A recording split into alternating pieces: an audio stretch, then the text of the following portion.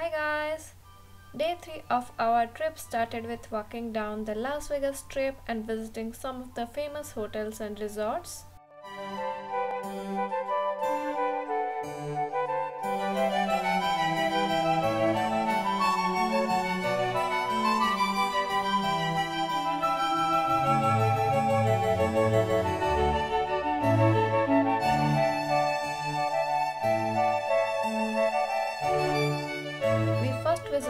Bellagio. It's a resort, luxury hotel and casino.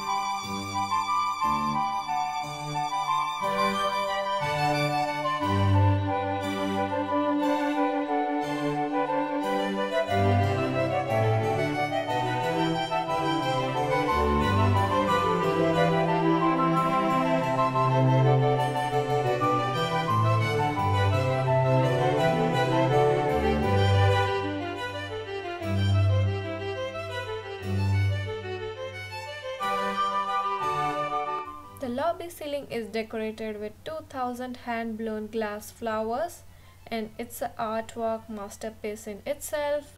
And it had been in my bucket list to see the ceiling for a very long time more than 10 years since the first time I saw it in one of the travel shows. And I'm glad I could see it in person. It was very overwhelming for me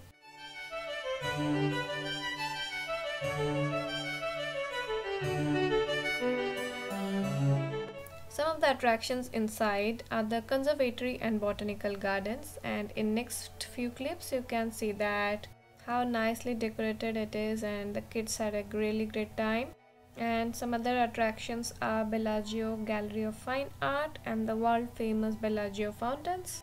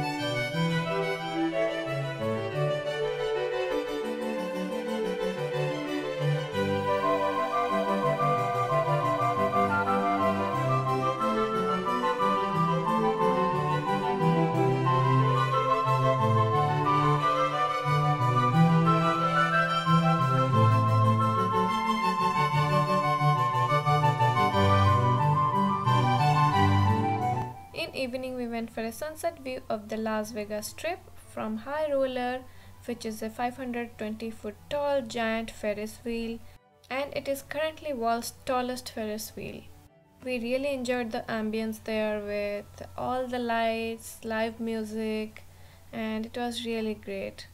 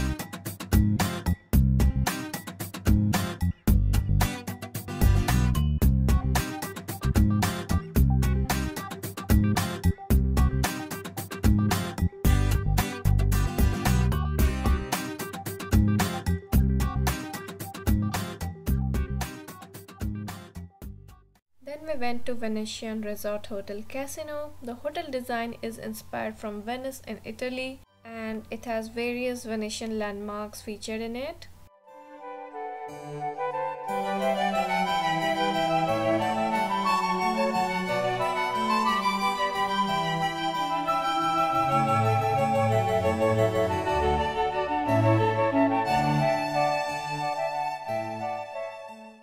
For me the best part is the ceiling decor which is like the sky. And it was 11:30 in the night when we went there and it was feeling as if it's still daytime. And it was just surreal